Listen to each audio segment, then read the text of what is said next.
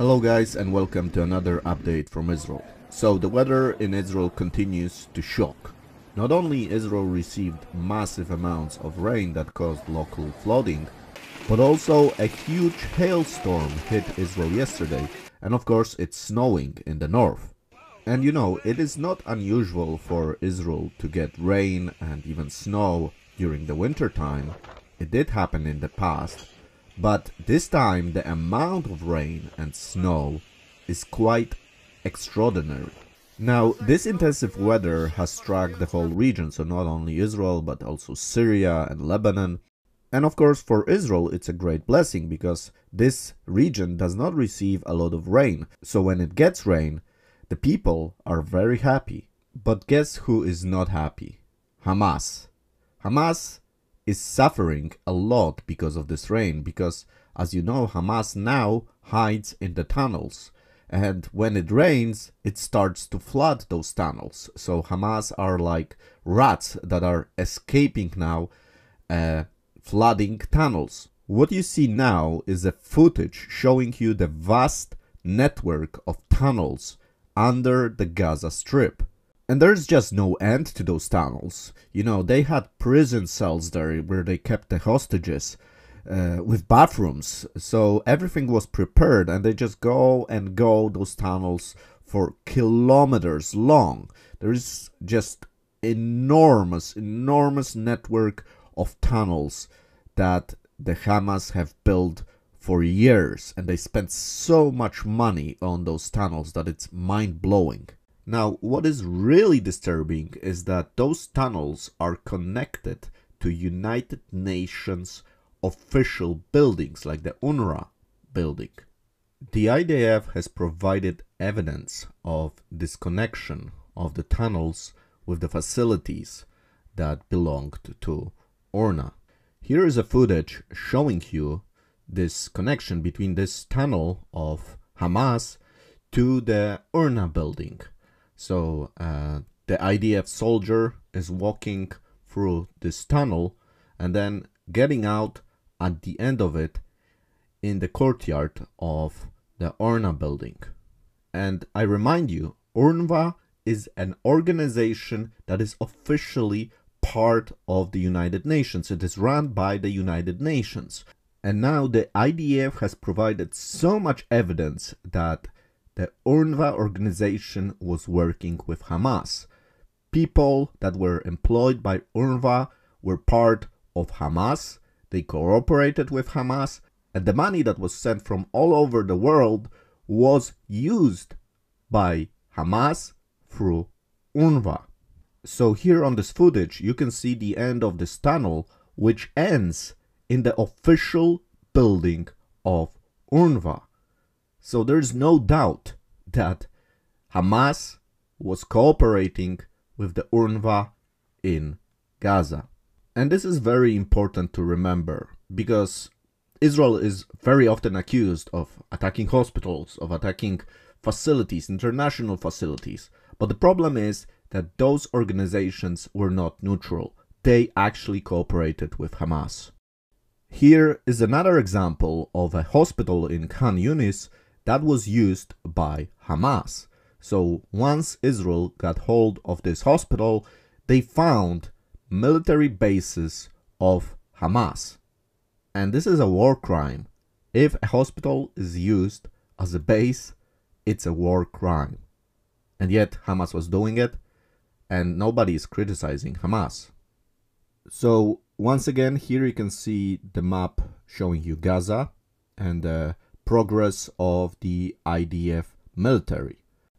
And I am showing you this map every week so you can understand what is the progress every week that the IDF is making.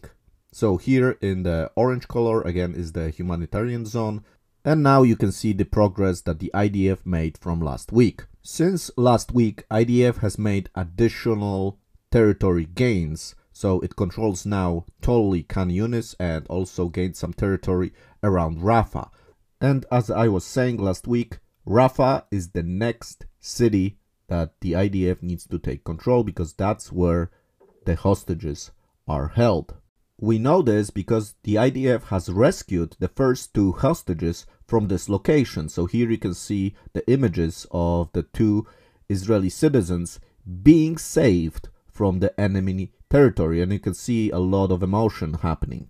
In a moment I will show you the images showing you the rescue mission, some of the images from the rescue mission. Of course I can't show you everything on YouTube because it is it would be banned. I will be publishing this extended material on my Rumble channel so uh, if you want to check it out, check out my Rumble channel. I will put a link in the description so you can see it. But for now, I just want to show you this image of the Israeli hostages that are now in the hospital and on their way home. So check it out. קיבלתי, הכל אצלי, הכל בסדר. ברוכה השבה, מה שלומכם? מה קורה לכם? איך אתה מרגיש? הלם. בסדר גמור. מרגיש טוב עכשיו? מי אנחנו עולים עכשיו על מסוק? עשו לי עוד המעילים. עולים על מסוק וטסים לבית חולים תל השומר. בטח, אין שאלה.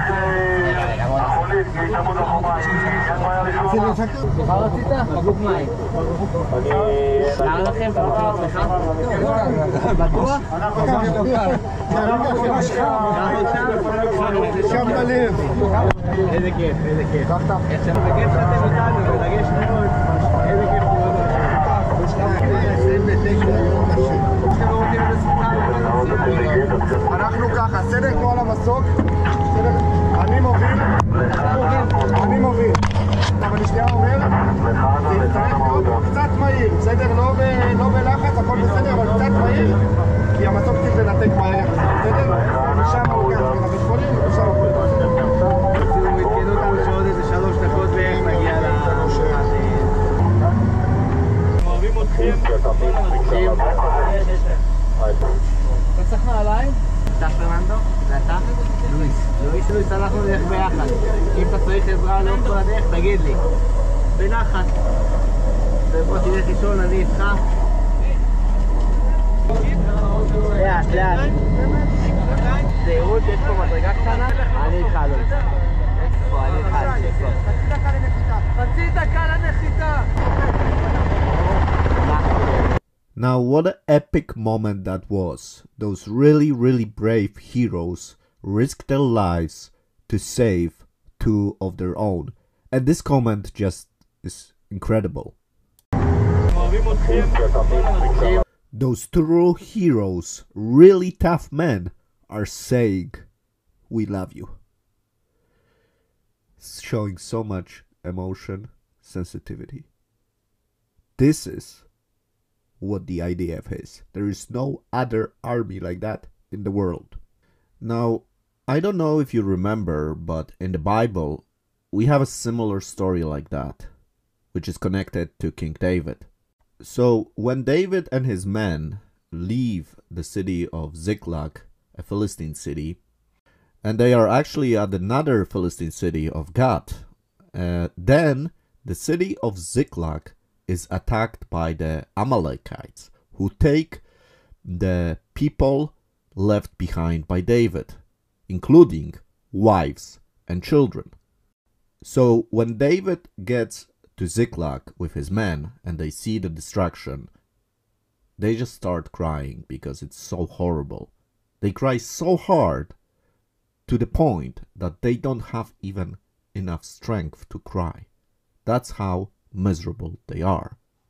And in this critical moment, David mobilizes the men to go and rescue them. And with some of his men actually staying behind because they are so tired and they cannot pursue, David goes with a very small force and takes back all the hostages, everything that was stolen.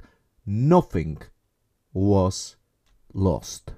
And this is just one of many stories in the Jewish history of how the Jewish people will do everything, will use any resource to save even one Jewish person. That's why Israel will sometimes exchange thousands of terrorists for just one Jewish person that was taken captive because it's so important. Now I have more material to show you, including a very disturbing material showing you the actual attack of Hamas on October 7th and uh, really the face of the devil of the people that committed horrible crimes. Uh, so obviously I cannot show you this on YouTube, but uh, I will be putting that material on my Rumble channel, so make sure you check it out. Thank you for your attention. I hope this report was helpful for you. I always try to do a report once a week and give you a summary of what is happening in Israel. So make sure you subscribe to the channel, like the video, hit that bell notification button. Thank you also for everybody who's supporting the channel. If you would like to support the channel, the best way to do it is through Patreon and PayPal. I will leave links to my Patreon and PayPal pages in the description of this video. Have a great day. Shalom.